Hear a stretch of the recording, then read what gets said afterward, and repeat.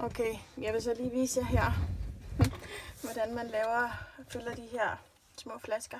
Lim på flaskerne hedder det. Jeg har jo så købt sådan en bogbinderlim her, super god. Øh, det er rigtig, rigtig vigtigt, at I har den tæt sluttet ned om her. Jeg har haft min tidligere bogbinderlim.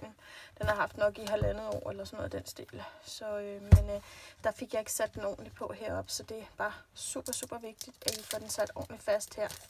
I skal helst ikke have så meget som lim på siderne her, fordi at det går jo ind og gør, så I ikke kan lukke den, så den ikke tæt slutter ordentligt herpå. Øh, man har sådan en her. Øh, jeg gør det, at jeg prøver at mase den så meget som muligt herinde, for al luften ud af. Så holder jeg den lige ovenover her, jeg ved ikke, om I kan se det, lige ovenover limen, og så, så suger den automatisk ind, når jeg slipper mine fingre her, så suger den automatisk lim ind i øh, bøtten, når jeg har puttet taget al luften ud af, af selve flasken. Øh, så, og holder den lige oven i ovenover kanten. Så kan den meget gerne suge det ind i. Og hjælper den så med at trykke på den anden side, sådan, så den bliver. Nu er der halvt fyldt. Jeg ved ikke, om I kan se det. Den er halvt fyldt. Så gør jeg det. Gør jeg lige sådan her. Sætter den ned på mit bord. Trykker, eller hvad skal man sige, får det til at løbe den tilbage igen. Det er derfor, jeg lige banker den i bordet. Jeg tager et stykke toiletpapir her. Øh, tager mine kanter. Lige tør af fra limen. Nu burde der være hul, og nu er den halvt fyldt. Så trykker jeg, ikke på samme måde som før, men jeg trykker halvt, eller hvad man skal sige, og vender den rundt ned i limen igen. Og den suger lige så stille. Suger den limen op i sig. Jeg tør igen af her. Banker den ned i, i mit bord her. For at få limen til at fylde, eller falde ordentligt på plads ned i, øh, i dutten. Nu er den faktisk fyldt. Den går herop til limen nu. Øh, den er her. Så øh, jeg vil da sige, den er, det er faktisk rimelig godt nået, at den er helt heroppe. Det var to gange. Jeg kan lige prøve at vise det igen. Nu skruer jeg min dut på her. Eller min prop på her hedder det. Det er jo som sagt... Okay, jeg prøver det igen. Jeg skal skrue den på her. Man skal skrue den selvfølgelig rimelig stramt på. Så sætter du den lille dut på heroppe.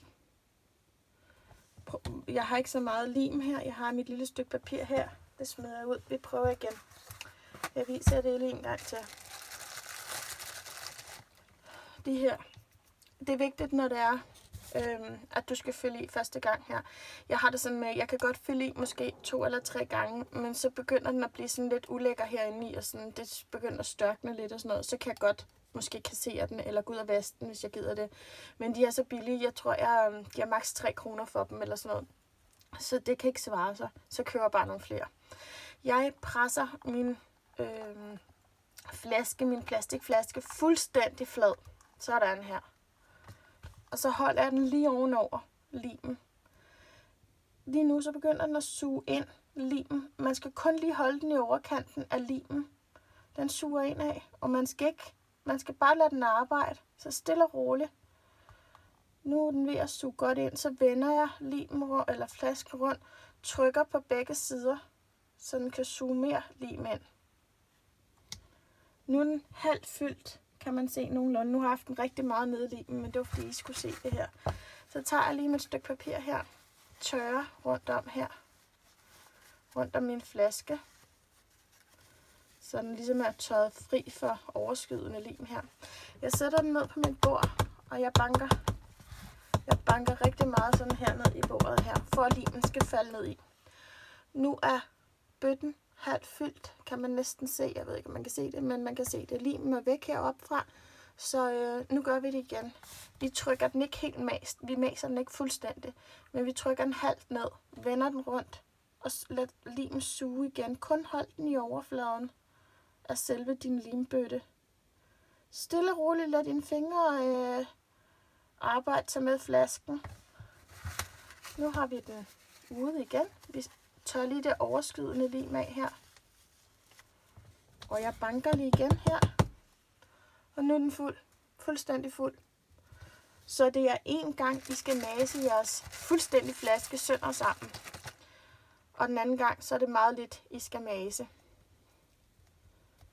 Nu har jeg lukket den.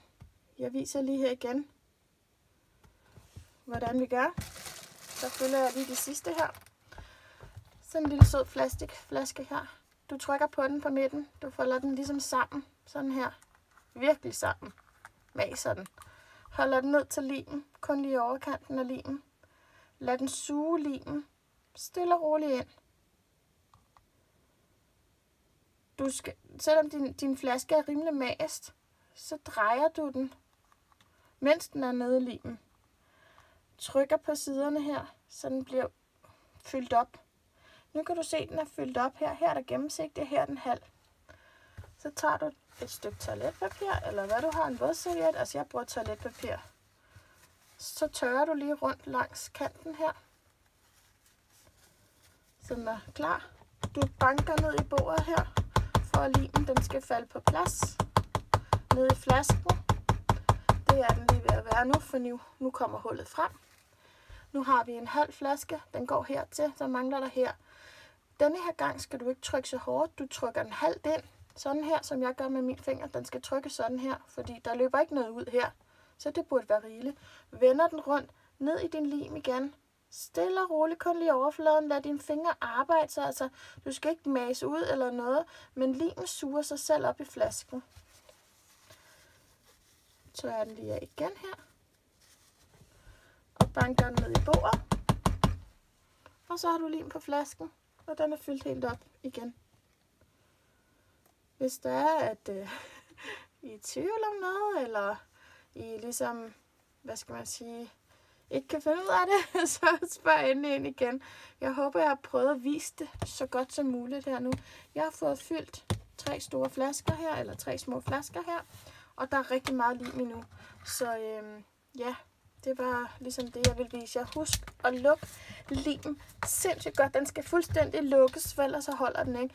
I skal altid opbevare jeres lim et mørkt sted, fordi at øh, ikke, hvor det får direkte sollys, det kan det ikke tåle.